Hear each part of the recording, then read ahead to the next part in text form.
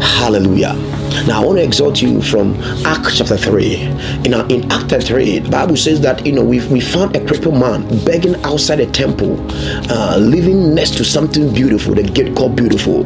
Um, his condition prompted others to place him outside, looking in, looking at the beautiful, but never living the beautiful. The Bible says that our prayer, Peter and John were going to pray. They encountered this man, and he also begged them for alms. And Bible says that Peter and John told him that the silver and gold we do not have, but such as we have we give thee. In the name of jesus christ of nazareth rise up and walk. And bible says immediately bible says that this man's ankle bone received strength. They helped him. He jumped and he began to went to the temple praising god. Hallelujah. What am i trying to say there is power in the name of jesus. Bible says wherefore god has highly exalted him and give him a name that is above every other name that at the name of jesus every knee shall bow every tongue shall confess that jesus christ is lord. Today i want to speak of your life that there is power in the name of Jesus. Your condition does not determine your position. His forgiveness determines your position.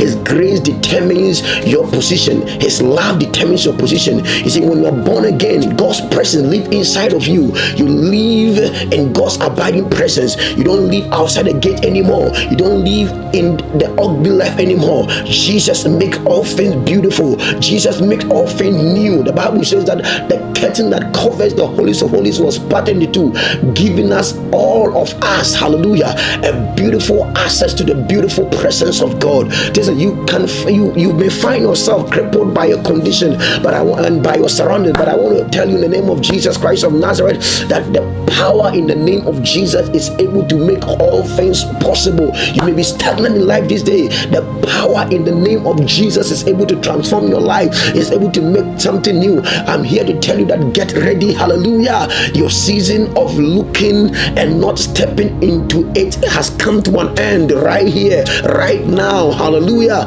Your season of having, you know, talk about something beautiful, but never, never, never living it has come to an end. You are going to, you are not going to look at the gate beautiful. You are going to step into beautiful things, beautiful things. I declare that is a season of beautiful things over your life, over your family, in the name of Jesus. In the name of Jesus, may the Lord cause you to walk in his favor. May his power sustain you, and may anything that has crippled you, be it sickness, disease, uh, failure, and all kinds of depression, anxiety, uh, be removed in the name of Jesus. And may he cause you to walk and overflow in his blessing. The Lord cause you to see him and walk with him. Hallelujah. May your life be beautiful in the name of Jesus. We pray. Amen.